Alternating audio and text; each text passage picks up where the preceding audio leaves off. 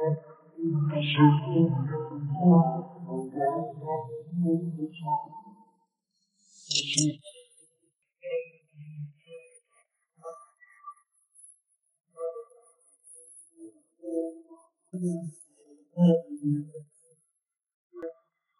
家好，我是探海严阿峰，欢迎收看我们的探海频道。现在我们所有的探海成员呢，已经下水了。我们早上先敲鲍鱼，这个流水很急哦，开干喽！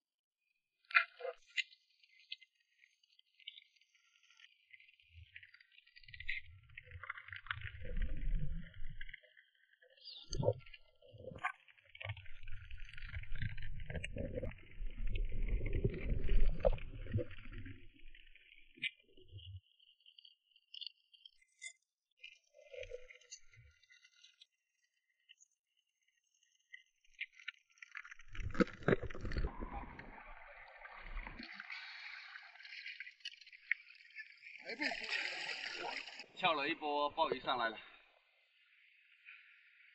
收获还不错，有十斤的鲍鱼。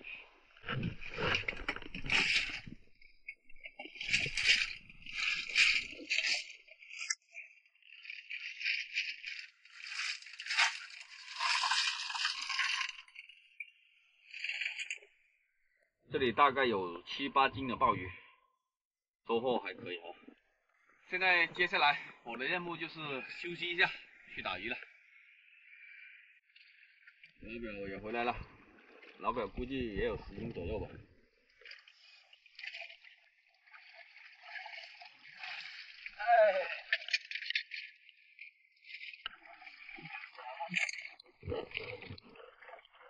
两三斤是两三斤，都是精品啊。这个两百三一斤啊。这个都是个个都是大个头的，老表的鲍鱼都是大个头的。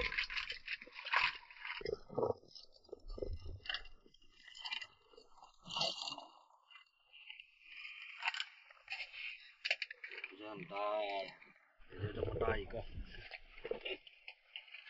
二两一个，这个五头鲍，两百三一斤。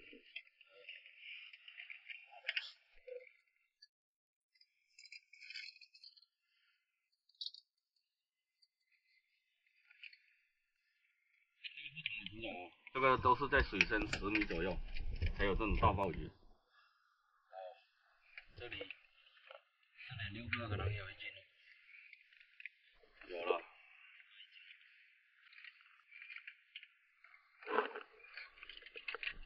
给大家科普一下哦。这种小的呢，一般是水在水深一两米，呃，三三四米这样子，两种不同的品种。所以有些网友就误会我们说我们翘的鲍鱼少，因为它品种不同嘛，总是拿国外的黑金鲍来比，啥不好比，要拿国外的黑金鲍来比啥呢？是吧？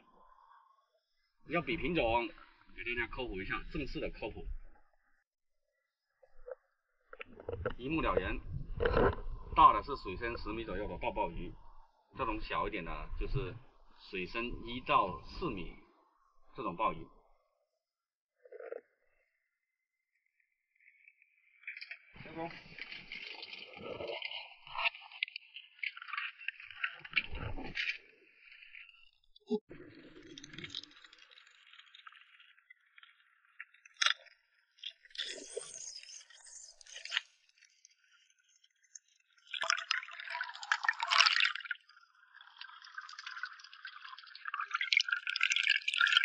我在水下打那条鲫物，给大家看一下。剑没了。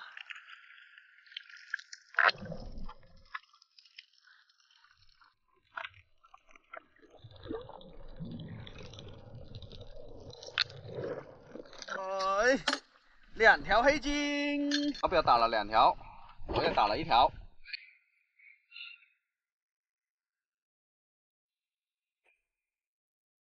大神来了，没什么戏了。还好是半路打了一下沉船，打了几条石斑。回到风塔，又打了这些金鲳、呃红友、雅典、黑鲷。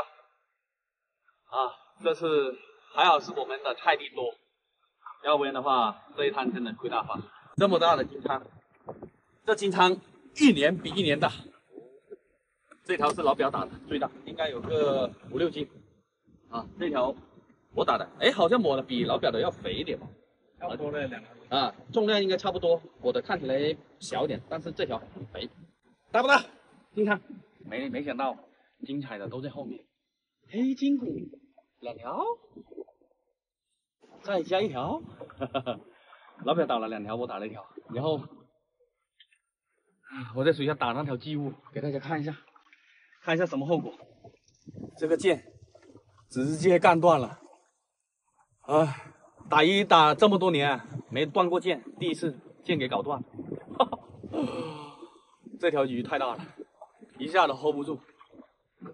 哦，看一下这个切口还是新的，这是碳钢啊，高强度的碳钢啊。不见一条鱼，又浪费一根剑。风塔现在的鱼也越来越少了。知道的人太多。好了，我们可以唱着胜利的小歌回家。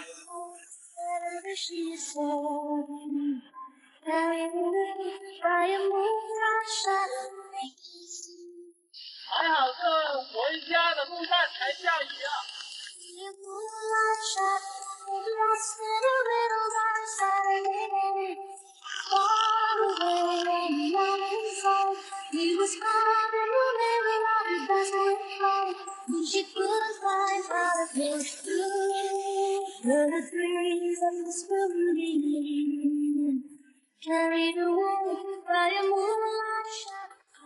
二十二斤。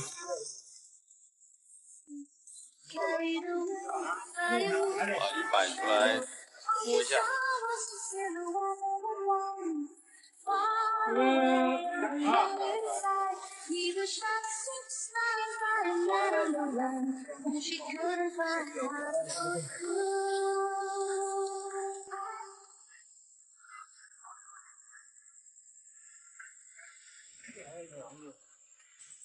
我们这一趟出去两天一夜，打了将近一百六十斤的鱼，然后回来晚上本来计划要直播的，但是这一趟出去打鱼特别的累，我们就取消了直播。主要考虑到我们直播卖鱼的时间会比较漫长，然后有些人下了单又给我们退单，给我们在直播间造成很大的一个麻烦，耽误我们很多时间。所以考虑到自身特别累的情况下，我们就把鱼啊花一个多小时就全部卖完了。那这一趟我们一百六十斤的鱼，呃，算一下账，看我跟老表能赚多少钱。我们这一趟一百六十斤的鱼，除去我们打包还有人工的费用，到手就拿到六千多块钱。而我们的船长两天是八百块钱的工资，还有我们的油两千三，吃的喝的用的，呃三百六。我们这一趟出海总费用是三千四百六十，我们拿到手的毛利润是六千四百九，减去我们的费用三千四百六十，还剩三千零三十。那我跟老表两个人平分下来，每个人到手也就一千五百块钱。这一趟出去大山南是处于一个亏本的状态，然后一路打回来，由亏本转为 有钱赚，还算是不错的一个安慰。总的来说，有钱赚好过亏本。